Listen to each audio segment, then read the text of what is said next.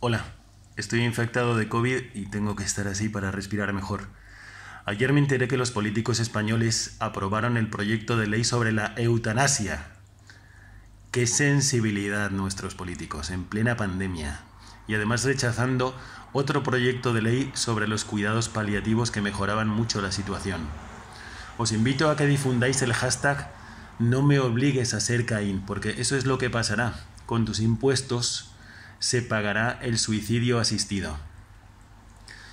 No me obligues a ser Caín también es una página donde recoge todos los argumentos a favor de una ley sobre cuidados paliativos y no sobre la eutanasia. Miradla. Los políticos tienen que reflexionar.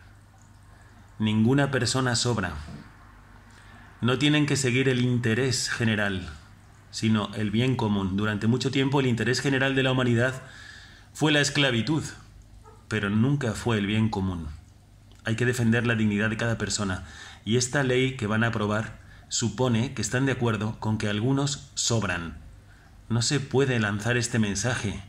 No, se puede lanzar este mensaje ahora menos todavía después de lo que hemos visto en la pandemia, cuando hemos visto a la gente morir en las residencias de ancianos y sentir realmente que sobraban. Ojalá nuestros, nuestros políticos además de conciencia, tengan también corazón. Ayudémosles a reflexionar y ofrezcámosles esta alternativa promoviendo la página No me obligues a ser Caín.